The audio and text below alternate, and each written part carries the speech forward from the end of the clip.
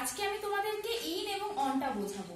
আচ্ছা চলো, তার আগে আমরা দেখে নিই ইন আর অন মানে কি। ইন মানে হলো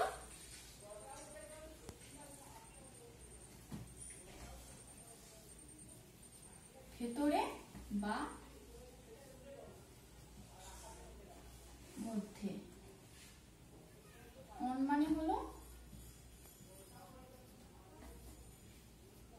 ওপরে।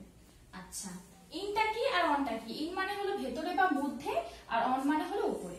যখন কোনো একটা জিনিস অন্য কোনো একটা জিনিসের ওপরে বা অন্য কোনো একটা বস্তুর ওপরে থাকে, তখন বসে কি? অন আর যখন কোনো একটা জিনিস অন্য কোনো বস্তুর ভেতরে থাকে বা মধ্যে থাকে, তখন তার মধ্যে কি বসে? ইন আচ্ছা ইন মানে কি হলো? ইন মানে হলো মধ্যে বা ভেতরে আর অন মানে হলো ওপরে আচ্ছা এবার তোমরা বইয়ের দিকে তাকাও। বইয়ের এই পেজ নাম্বার ফিফটি ফাইভের দিকে তাকাও এখানে দেখো এখানে কি আছে এখানে দেখো আছে a cat dash a mat এই বিড়ালটা, এই ম্যাটটার এই ক্যাটটা এই ম্যাটটার ওপরে আছে না মধ্যে আছে? কি আছে এটা? অবশ্যই ওপরে বসে আছে, তাহলে ওপরে বসে থাকলে কি হবে? ওপরে বসে থাকলে হবে অন আচ্ছা এখানে দেখো a pen a pen dash a cup এই পেনটা এই কাপের মধ্যে আছে না ওপরে আছে?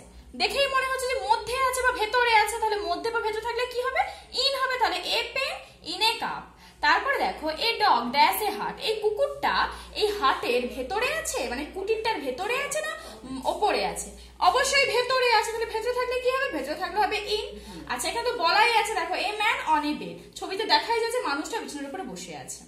তারপরে দেখো এই পিকটা এই টিনটা তাহলে এই পিক ড্যাশ এই টিন তাহলে পিকটা এই তিনটার ভেতরে আছে না ওপরে আছে? অবশ্যই ভেতরে আছে, তাহলে ভেতরে থাকলে এখানে কি হবে? এখানে হবে ইন। তাহলে a pig in a tin তারপরে দেখো এই হেনটা এই নেটের ওপরে আছে না ভেতরে আছে?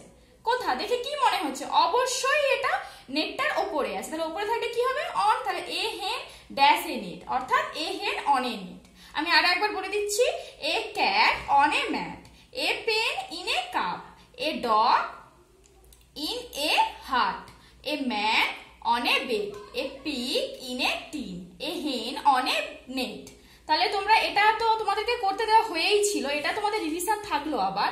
ভালোভাবে এটা প্র্যাকটিস করবে, তার সঙ্গে আমি কিছু হোমওয়ার্ক তোমাদেরকে অবশ্যই দেবো।